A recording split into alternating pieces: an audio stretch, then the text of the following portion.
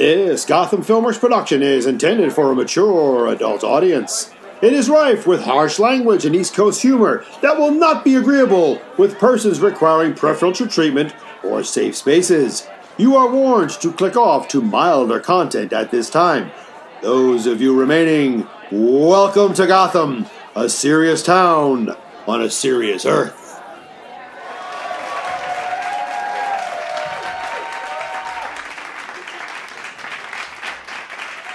Ladies and gentlemen, boys and girls, members of the LGBTQ population, components of the artificially intelligent and mechanized sentient collective, welcome to the second episode of WGTM. Tonight's episode, Killbox, sees Howlin' Mad Halloran in a broadcasted conversation with a deep cover operative carrying evidence against a conspiracy on the southern border. You are seeing this in real time. Welcome to another night in Gotham City.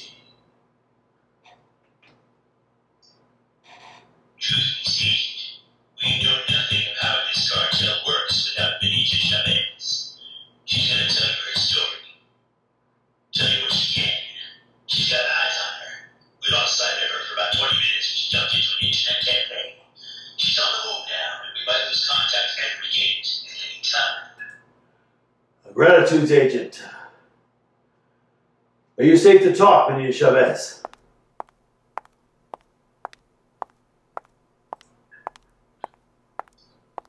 Your viewers should know that Chavez is not my own name. She is a character I assume to interface with the public. My true name won't be spoken till I'm gone. Tell me what you can, Benita.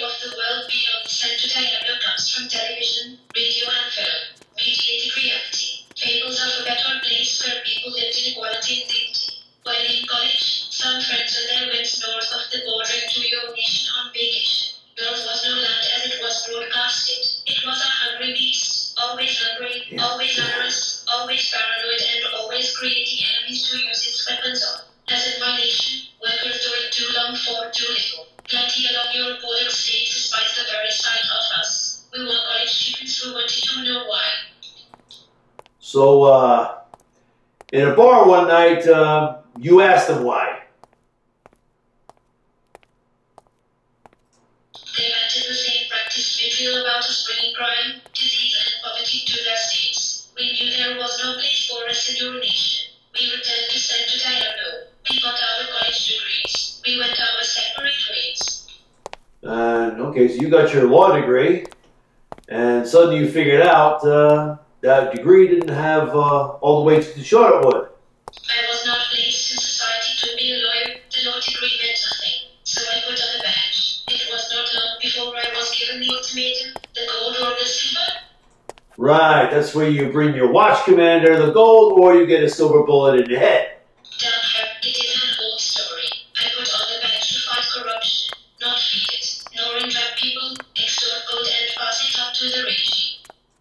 So, how long did your law enforcement career last? Only a few weeks. I resigned, not willing to fill the coffers of the corrupt. My job prospects were less than minimal. But a fat,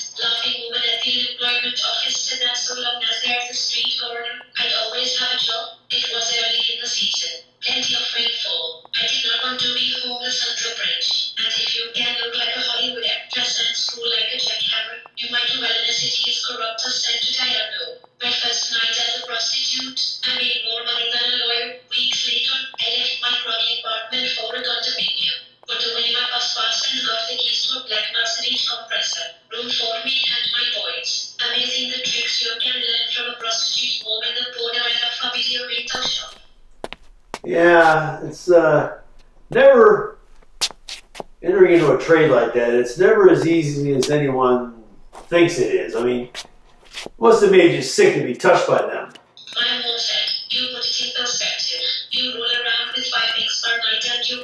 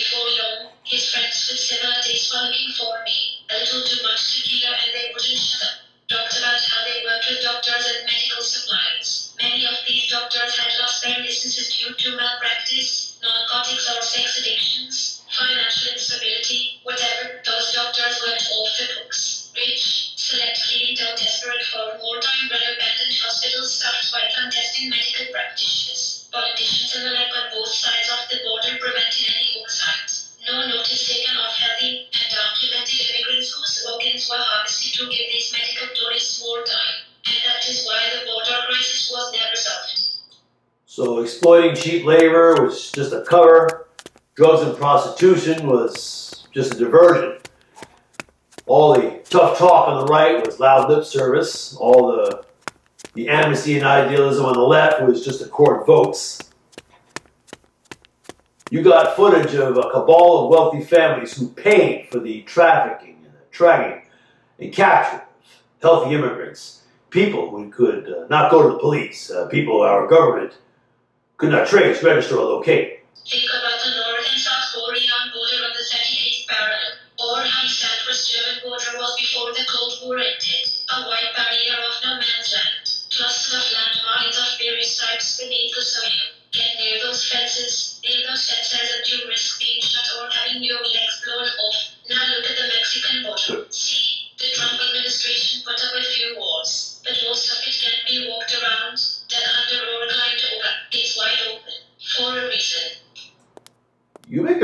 Valid argument. The uh, Mexican border is well, not very not very heavily militarized. Sharp rhetoric, some action, some legislation drafted, arguments for open borders or border fences, but no landmines, no snipers, no machine gun nests, low body counts.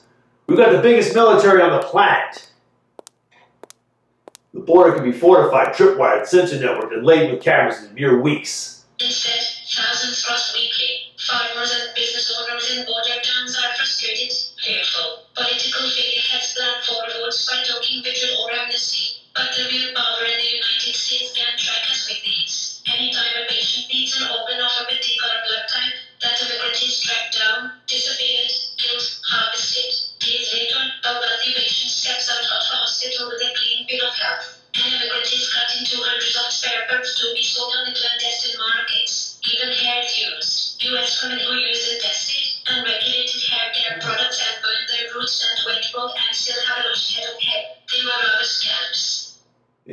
quite a different thing from Dr. Karl Marcus. Uh, Boston, Massachusetts went into a tumult uh, when it was learned that uh, capital offenders were being legally sentenced to a mandatory organ donor program. Suddenly you had uh, patients who might have died going home healthy with the organs of criminals.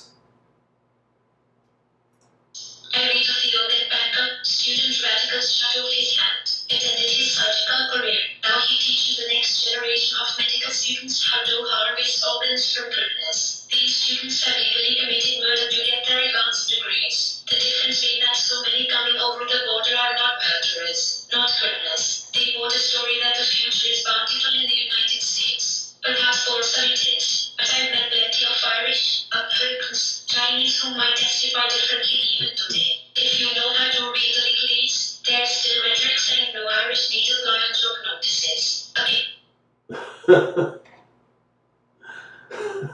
I understand you have flash drives, photographs, videos from these hospitals. There are few records kept in these places at all, and uh, patients enter under assumed names, often disguised. The uh, donors are being processed in the basement below.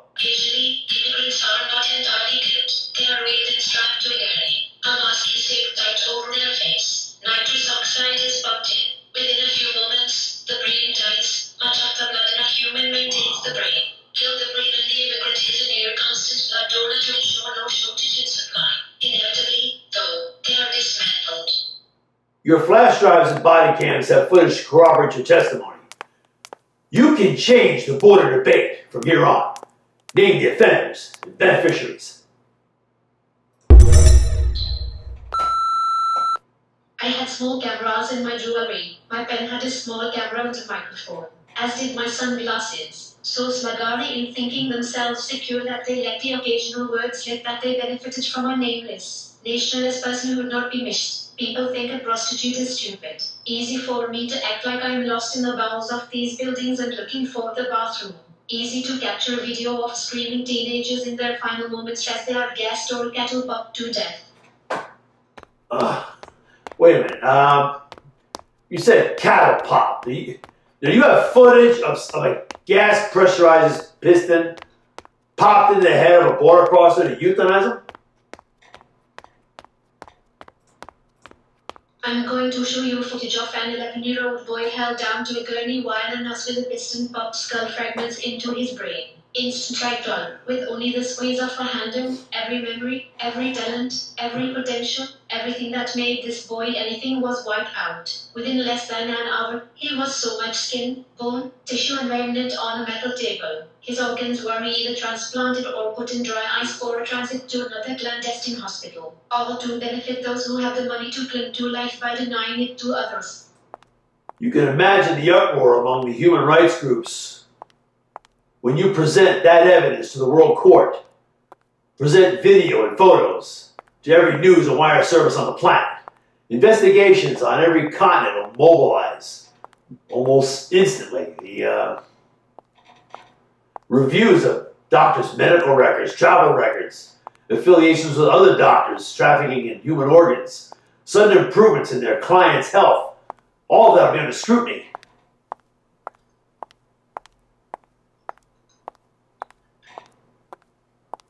Every rich patient in these abandoned hospitals is a beneficiary of murder. Many will be arrested loud and public. Some will lawyer up fast. Others will roll over and threat anyone they can to get a deal for minimum incarceration. Many of the companies these people manage to will experience power vacuums in their absence. Political toadies will corrupt and form fiefdoms while these companies lose trade and market share value. But we may never know when this conspiracy began or how many benefited from those labeled expendable. There's no peace for those bewildered who died begging for their lives among those who saw them as a means to an end. Imagine being strapped to a gurney among others like you in a basement. All of you screaming into masks as your minds go void. Imagine how helpless, how useless, how abandoned those people felt in their final moments. That humans in this day and age could be capable of such organized savagery of American soil. This is why there is no resolution of the border crisis. Too many cowardly benefited from it. I have hours of still and video footage in my pockets. It will be seen around the world. No more peace and little lies. Tomorrow, the bodyguards of license. I've got the evidence. Uh, Benita, are you still being followed by that woman? Do you see those men at all on the rooftops?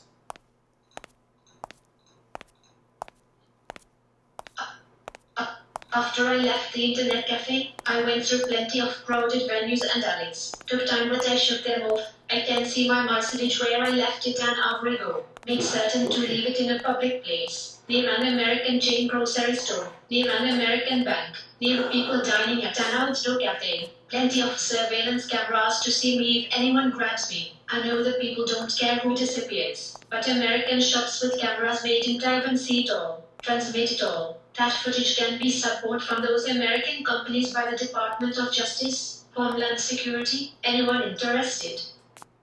Okay, now you drive out of town, take the side streets to the park. You know, the road past the water treatment plant. Uh, plenty of tree cover there. You leave the car, move through the woods, heading north, northeast. Yeah.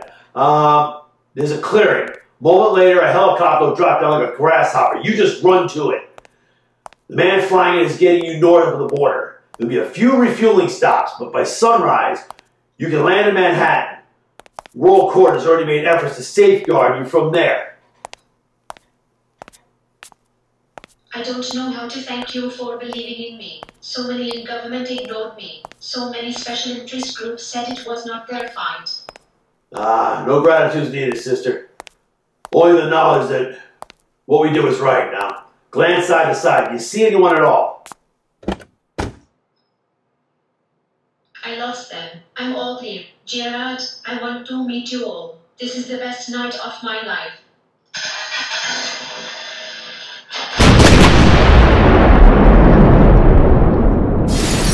Evelina!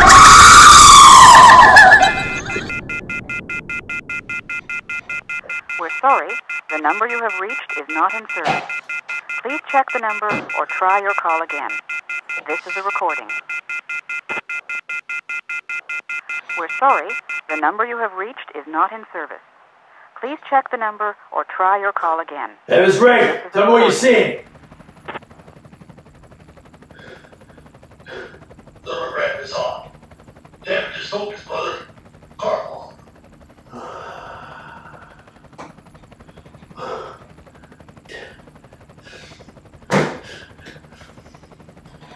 What? Why the hell did you have to stop at that internet cafe? You gave all the time in the world to plant the bomb on a car. Brother Gerard, she knew she wasn't getting out of there alive. I see long rifles on the rooftops. I'm taking out two.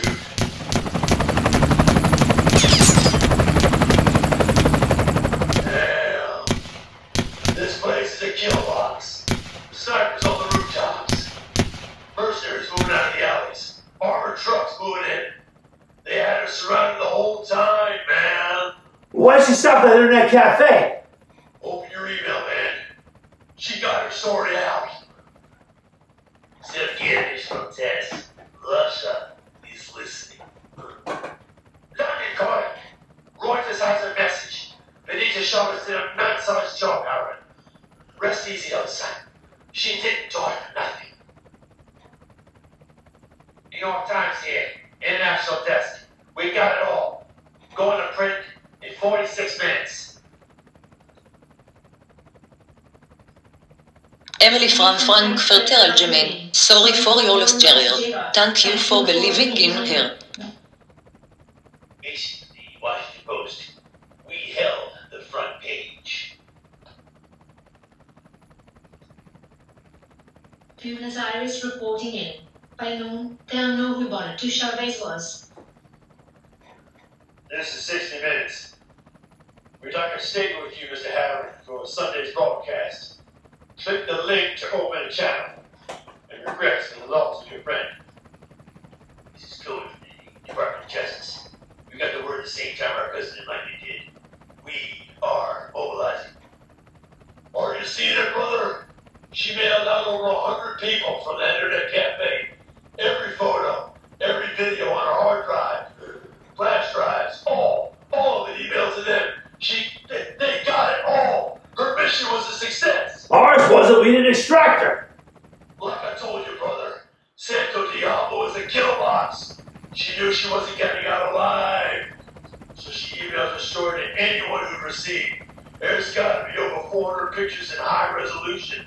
Plenty of dialogue in English, Spanish, varying, various Asian dialects between patients and doctors and caregivers. Are you seeing this in Gotham? Are you seeing it all, man? It's it's uh it's it's all downloading onto the WGTM website now. All of it.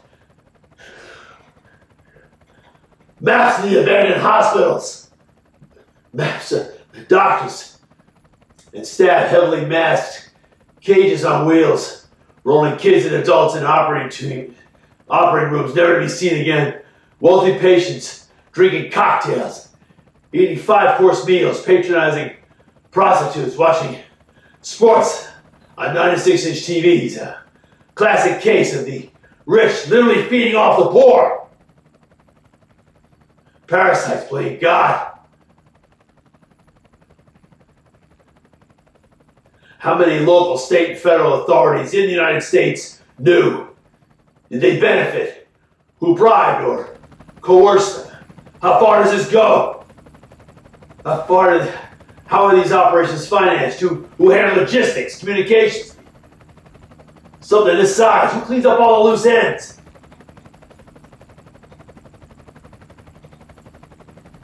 You're the man who believed in her. You're the man who opened the channel to her. You decide how far this goes. Tell. Tell him what you know. Elena Rojas was born in Santa Diablo on September 17th of 1990. Her mother was a prostitute thrown out of the stable even before age 30.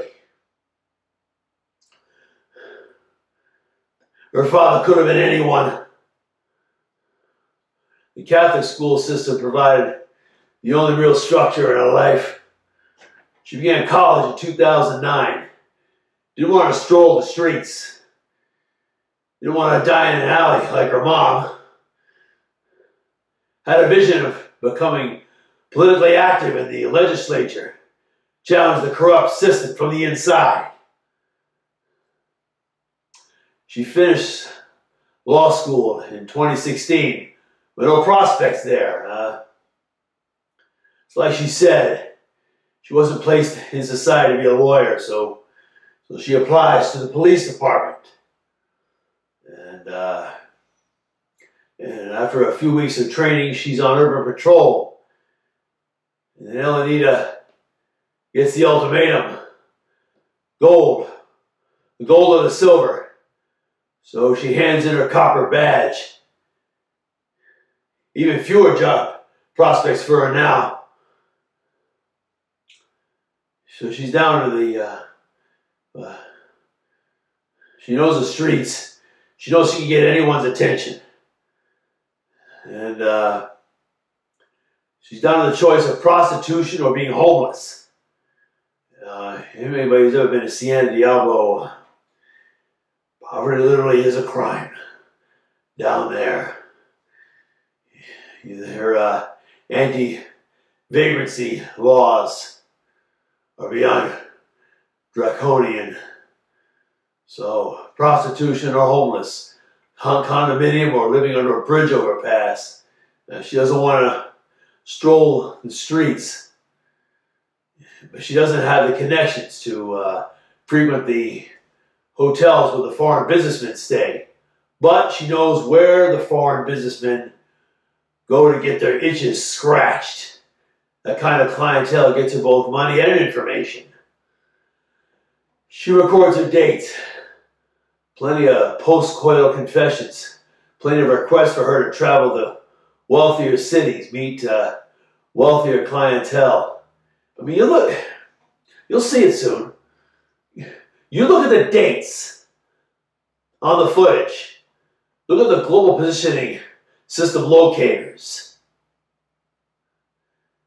She's she's been up as far north as Vancouver, Canada, to as far down south as Cape Horn.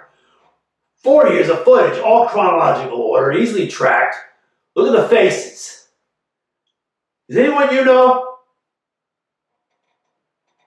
Any places you've ever been? Now, their world isn't so far away from yours. Not far away at all. So Elenita Rojas became Bonita Chavez to infiltrate it all.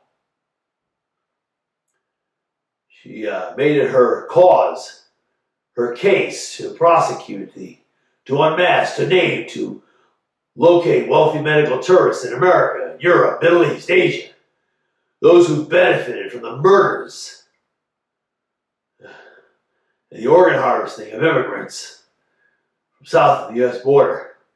Uh, she died, but not before transmitting her story all over the planet from an internet cafe in San Diablo. Elenita Rojas. End of watch. July 31, 2021.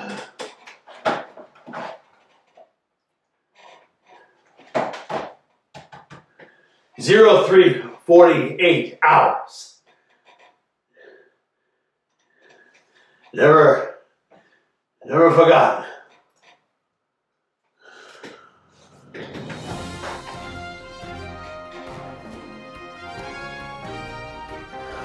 This is Moira Somerville for the BBC. Simultaneous arrests in London of persons identified from video footage by Bonita Chavez. These medical tourists with any number of health maladies found a rapid return to health at the sacrifice of nameless border crossers in the United States. Undocumented persons thought to be those that one would miss were killed for their organs. She went undercover as a prostitute and used a variety of cameras and microphones to catch still and video images.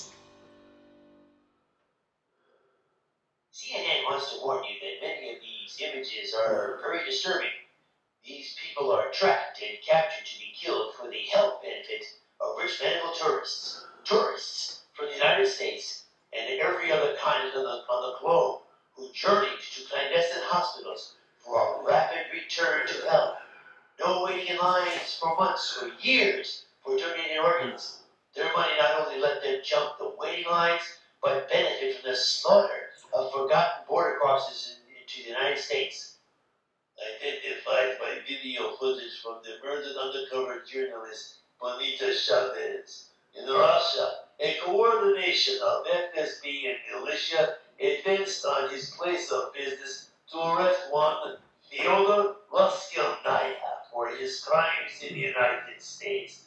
When Roskilnaya ran to the heliport of his building, his legs were shot down to around 30. He was then thrown level by level down 18 flights of stairs, while a list of charges was read to both he and the local media outlet